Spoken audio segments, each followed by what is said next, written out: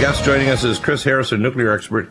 Uh, today we're going to post up some interesting articles. The Nuclear Regulatory Commission, NRC, are going to be posting up information over the next few weeks, apparently updating earthquake hazards at U.S. nuclear plants. Uh, I'm not sure how they're going to spin this, but I think it's well over 35 to 40 percent of all the plants are within strike distance of a of a nuclear uh, danger, of hazard of, of a geologically up, uh, you know, active area like New Madrid, Diablo Canyon, et cetera, right across the country. And I think that we're, you know, we're fooling ourselves that the NRC is going to do anything substantial. And let's talk about the three or four or five things that they could do to remediate these plants to reduce the danger, even if they don't actually get rid of the old technology. And what and why will they not do them? Oh, Dr. Bill. Well, you know, just talking about what you could do. Well, I'll tell you what we do that's not a great idea. All right, we try to make one piece of equipment uh, handle every single different kind of a condition that may may arise. And for that, I'm saying maybe maybe the diesel generators at Fukushima and at the U.S. plants are just fine against the seismic event alone. But when you combine that with a tsunami, we found that they were woefully inadequate. So, Right. you know, one of the things I think is instead of uh, putting all our eggs in one basket and saying that this particular set is robust against a variety of different potential assaults and hazards, you might want to consider having another set of diesel generators, very expensive, by the way, that is great for floods. And, and it's designed to handle a flood. It can be completely Yeah, maybe at a higher, uh, like inland at Fukushima, just having it a half a mile or a couple miles in, and at a higher altitude, so it's less likely to get swamped. Uh, the same way here is we have a number of plants that are actually their diesel generators are, bel are below the high water mark, which, like, that's mind-boggling. They're that stupid that you'd have diesel backup generators for nuclear reactors that won't go China syndrome that are below the high water mark. Well, it's been uh, historically they've been lucky, I guess, you know. But now we're seeing perhaps, uh, perhaps, uh, you know, it's uh, probably luck may run out, you know. And this is the Yeah, it's a- reason it's a- why. So like a Well, f- this- this is- nuclear, uh, it's nuclear roulette. You know, we spin the nuclear fuel bundle and see if you come up with an empty or full chamber. well, it seems in nuclear, uh, you always lose at that. you Yeah, you're going to lose. You just have to. It depends how many times you spin. Uh, what are the groundwater plans now at Fukushima? What's going on there? Well, they are they are beginning to pump water. Remember, there was something called the, the wells that they were pumping to limit or minimize the flow of the underground aquifer into uh, the basements, or the, what they call them basements, actually it's into the buildings of all the Fukushima plants, units one through four, and try to get that in, pump it into a clean spot, and and uh, which are a new tank speed. That's a big project. And so they're going to store all this water somehow, test it, and then eventually release it because it shouldn't be contaminated since it's coming from upstream of the plant, but you won't know for sure unless it's uh, uh, uh, tested, except that, you know, we know that uh, uh, plenty of uh, radioactive material was also scattered all over the plant. So there's going to be some, some traces of uh, activity in the water that's pumped upstream. This is a huge project, but still, uh, before they release it, they seems that uh, TEPCO has finalized a deal with the fishermen, the local fishermen, to say that uh, they're going to have an independent look at what is being released into their fishing waters before uh, TEPCO could release it. And uh, so that looks like it's going to happen. Yeah, but what they're they going to release? Uh, they weren't filtering out their their water filtration system had never filtered out strontium and cesium 37. so, I mean, uh, to me, this is putting flowers on the grave. you know, what are they doing? Uh, you I wonder know, what kind of deal they made with the fishermen. Is this some kind of a strong arm tactic they did? I don't know. yeah. Well, to me, it's like as I say, flowers on the grave. It's saying, yes, we'll release radiation, but we want you to know what it is and certify it okay before we make your fish radioactive, and then we'll make sure the Japanese people are on side with lots of media push to say, keep eating Fukushima, it's your national duty. That's the craziness of the Japanese government and the way the people are being browbeaten by these uh, shogun-like tactics on the Japanese people, which I find very reprehensible. Right, and it says right here, groundwater pumped through out of the wells will be first stored in a tank, which is going to be an enormous thing, And more tanks, to check the contamination level. And after safety water is confirmed by analysis, which is expected to take a month, Yeah. TEPCO will start releasing the water into the. Into Yeah, it's, it's, it's a flowers in the grave. The other thing is the advanced liquid processing system. You have some updates on that from Tokyo Electric. What's going on there? Uh, well, they're going to try to start one of their units. Uh, I, uh, it wasn't. Uh, well, well, first, well, first of all, let's just go right to the, the other one. They're going to test a filtered vent. Remember, we talked about the hardened vent system Right. that was that was designed to alleviate the pressure of an accident so that you don't explode containment. Which uh, latest findings are showing that, let's say, just in Unit Two, for instance, uh, just where we said it was too, the downcomer uh, areas into the torus uh, are pretty much damaged to the point where uh, you know they uh, they they released all kinds of material. So. Um, and of course, we knew that right away uh, when uh, you and I were looking at the data years ago, because we saw the pressure rise, we saw the sudden drop, we still saw the pressure in the in the uh, reactor vessel. So we knew right away that it was the containment that was broken, and you know, it turns out we were right. But here, uh, And that was broken, by the way, before the tsunami struck. So reactor number one, the containment was lost already. And there are a number of other reactors that had containment damage done of five different sites in northern Japan. And if another major quake strikes, we're going to have not just Fukushima, but at least another half dozen or so nuclear reactor sites all losing radiation and going China syndrome. Uh, uh, well, right. Well, one of the so one of the plans they want to do is they want to put this hardened vent that everybody else in the industry said they recommended, and Right. uh, they you know they cheaped out and didn't do it, and so That's a hardened vent for venting the hydrogen that's created by the. Yeah, so in other words, they didn't want to put, they want to put a faux engineering solution, which means it looks like a vent, smells like a vent, but it's not a vent. exactly now it's a vent vent. put it that way. They But, want to make a yeah, vent that actually is a vent. I mean, how radical to actually put a piece of, of nuclear technology in that actually works rather than just as like a faux or a cartoon version of what a vent should be. Yeah, well, it's it's not a new not a new concept. It's, it's been done, and they, It's radical, they though. failed to do it. Yeah, well, So they they're installing one on Kasha. Can we say it now? Kashiwazaki Taro plant. That's uh, that's one of the plants that they're Well, testing it on. Um, It goes along with the logic that the Japanese government will give homes to new pregnant mothers free if you'll just apply to Fukushima. Japanese government, we give you home free because you're pregnant. No problem. You come back here, come back to Fukushima. Make everybody else not worry. If you got baby, we give you home. No kidding. TEPCO has uh, tabulated uh, cost $87 billion worth of replacement power from the uh, from all the nuclear plants being shut down, and to those ends, they're trying to start the Sendai nuclear plant. Uh, Well, in it- and and There was, there was one company in Bakken, uh, in North Dakota, that we could have supplied enough gas for the entire nuclear reactors. Just switched them over. It could have been done over two years ago. It would have taken maybe two or three months to do so.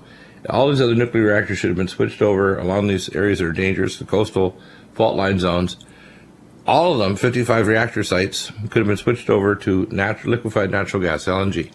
We had the tankers, we had the gas, we could have delivered to them, we could have made a long-term contract, uh, given them a locked-in price so they don't get, doesn't go crazy.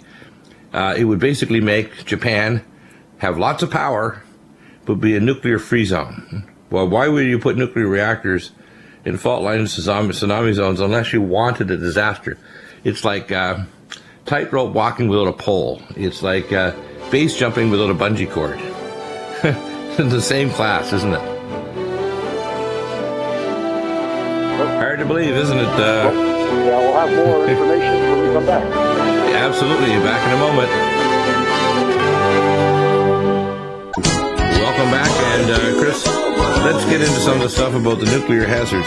Uh, this data that's going to be upgraded, if they uh, test the site and say, well, it's certified to take a 4.2 quake, what are they going to do when they find out the chances, say, over a 20 year period of a 6.8 are virtually 100% or 90%? They can't sweep it under the rug, can they? So, what do you think will happen? Uh, not not for long, no. So let's go over this Uh, th- th- issue. I Okay, yeah. I, I just just remember, you know, one thing the out, the out uh, go, the the last uh, chairman of the NRC, Jaczko, uh, Yes. ordered that every every company put a, come up with a, a reevaluation of their potential for a seismic event, including the magnitude and, and what kind of uh, threat it would pose to the plant. That was a newer, updated model than the original ones that were done in the 1960s and you know maybe even before then that everyone was using. And now these reports are coming in. And uh, you know, I was going to say, just uh, on Jaczko's behalf, they, he did a. I think he did a good thing, and he did a good thing by ordering that. So, uh, kudos to him. But anyway, um, the, the new reports there will be 60. So far, there's 60 of them coming to the NRC. This is as of uh, like April 8th, and so uh, they get a month to review these reports and come up with an evalu- their own evaluation, and then we're going to start then they promise that they'll be transparent and post them on their website, the Japan's Lesson Learned website, NRC. So I'm going to look at those, of course, and, and let you know what, what I what I think.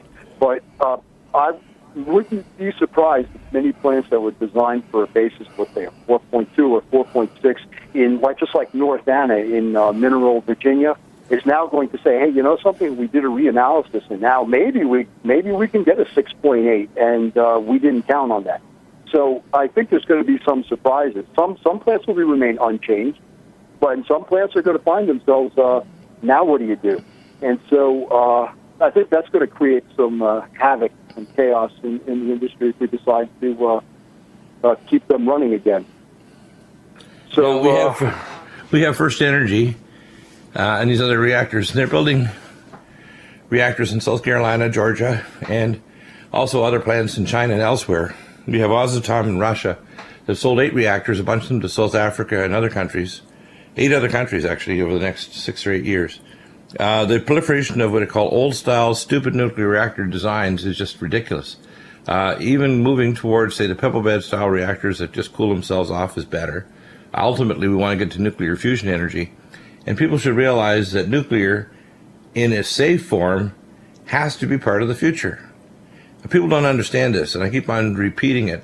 You can't use abiotic fuel forever and burn up oxygen, which is supplied at a limited rate by converting carbon dioxide in the oceans, upper 30 feet, called the benthic layer, and the forests uh, to convert back into oxygen from carbon dioxide. We don't have a peak carbon dioxide problem. We have a sick planet that's like a chronic lung disease who can't convert at an adequate rate to deal with the rate of growth of our industry. So we have to be able to produce power from other means. And these other ones that generate power, solar and wind, generate unbelievably dirty electricity that makes people really sick and animals sick and disorients the bees. And the bees aren't finding their way back, so you better get used to the idea of you having gruel because anything that tastes good won't be available because the bees are not going to be able to pollinate. So people need to realize peak oxygen is the issue, not peak, not carbon dioxide, not peak energy. That's another pile of garbage. It's the level at which your built planet can actually convert carbon dioxide back to oxygen. It's like the lungs of the planet have chronic lung disease. Advanced nuclear fusion, stable and safer older style reactors, but the newer versions of them, like the pebble bed reactors, reactors that don't vent off radiation, reactors that have stable materials that can be exported off site to be stored permanently in safe facilities. But these problems have never been breached, and I don't see any move by either the NRC, or the IAEA, to address them. Uh, I think we're heading toward a cataclysm, and when we hit the re, when we hit the what I call the energy nidus, where all of a sudden the world concentration of oxygen starts to really head south, and it could happen as we head into an ice age, because the ice age is going to kill a lot of the ability to convert carbon dioxide to oxygen. Uh, and you add that to industry, you add that to a global cataclysm, including the dissolution of the ozone layer. If there's a major uh, dissolution of the ozone layer, you can kill the benthic layer of the oceans and many plants. The lungs of the earth will get considerably worse, and we're going to really be up against it. Human beings will only be able to live and breathe and have any kind of vitality in a domed city. That's where we're going. Well, uh, if well, let's just let me just go back to uh, the assessments that are happening for the seismic uh, assessments and how how that would uh, cost a lot of money. Now, some some some of the plants, like I, I have a feeling that there are going to be several of them that, that meet this criteria, that the that they are not designed to handle the projected new projections for a seismic event And on top of that, they're going to have three years to make plant modifications to um, uh, uh, to their plant to reinforce existing safety significant equipment or by adding equipment. Three, in, a lot of things can happen in three years. So, uh, and, and, but yet, yet on the other hand, they, they have to do something, and that's that's the stuff that's going to cost a lot of money. That goes back Yeah. to that's I don't see how they're going to. I don't know how they're going to spin it. I mean, let's. What are the two or three things they could do? Uh, you mentioned the the uh, the torus and, and putting in a real thing rather than a faux one. Uh, the storage of material on site, either in casks or the latest cooling pools, is dangerous. Right. Especially if you talk about a war. I mean, if you want to have a war with somebody, you just have to have, as I said to uh, Tom Daschle, senator back in October of 2001, I said, we, I was one of the doctors taking care of employees at Rocky Flats. I said, look, all you'd have to do is for less than $20,000, get an APC, crash through the chain link fence, go in there with conventional explosives and blow up a pad full of liquid plutonium and other high grade isotopes like americium. And uh, your entire western United States is a radioactive dead zone. And they closed up all the airports locally from Vail, etc. I said, you know, you guys are not addressing the fact that you don't realize that every one of these nuclear plants is the primary site. If you want true terrorism, you'd hit something like Indian Point if you wanted to hit New York. You wouldn't hit the World Trade Center towers. You'd hit the nuclear reactors, right? And, and all Yeah, and most of these plants have 50 to 60 years of nuclear material on site in either casks that are not designed to, to last a long time or uh, liquid cooling systems that require a lot of maintenance and a lot of critical things to be able to withstand earthquakes, terrorism, power outages. I mean, they had a few keystrokes in Yuma, Arizona, September uh, 8th, 2011, and the power outage swept through and knocked power for about 7 million people in Southern California and Baja California. And it burnt out these two steam turbines at San Onofre, 12 miles as a crow flies from where I live and have my studio in Southern California, south of Pendleton Marine Corps Base. Burned out two $600 million brand new spanking Mitsubishi Heavy Industries steam turbines because Yep. they changed the engineering on these yeah. generators by like for like when they really shouldn't have put more steam turbine tubes because they vibrated against each other and had massive leaks of radiation, which my detectors went up when it went hot to five times background for almost a week. So, guess what, guys? You're not doing your job, and you can't swank this one. This is really serious, and all of the reactors near strike zones of earthquakes, which are going to increase dramatically, you need to get those reactors switched to natural gas. You need to get backup generators at a higher level behind them. You need to get that nuclear material off site. You need to have real uh, systems for venting, which they don't, like the faux one they had in Japan. I can't believe they actually put faux engineering to make it look like they actually had engineering parts there when they don't work. That's why there was a big argument over whether they should release the hydrogen or not because they're generating hydrogen that was going to blow up the torus. These people are crazy and they want to lie to us, and we're not stupid.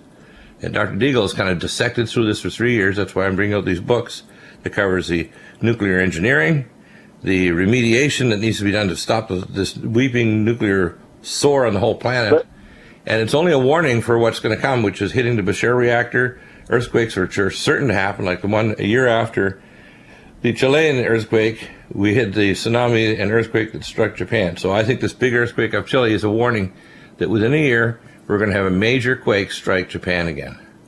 Hey, Dr. Bill, since, since I like to be a little bit of a bad boy in, in, in the industry and, and raise a little havoc myself, Right. uh, because I know what I know what should be done and all. I just got to. Right. I'm going to ask the question. I'm going to leave leave the leave the audience with just one question, and other people that understand. That would be: Does the new seismic uh, uh, seismic activity report shoot a hole in the license renewal process that the other plants? are Absolutely. Going, all right, It that's, should. That, that, that's It- from an inside thing. You know, good question right there. I think the answer to that one should be a big, broad yes with a megaphone, because I don't see how you can relicense plants that will not withstand earthquakes that are virtual certainty over the next 5, 10, or 20 years. Very good point, Chris. This will all be posted up today. Amazing. I'll be on hour number three as a guest tonight. We'll discuss and expand on this and many other topics.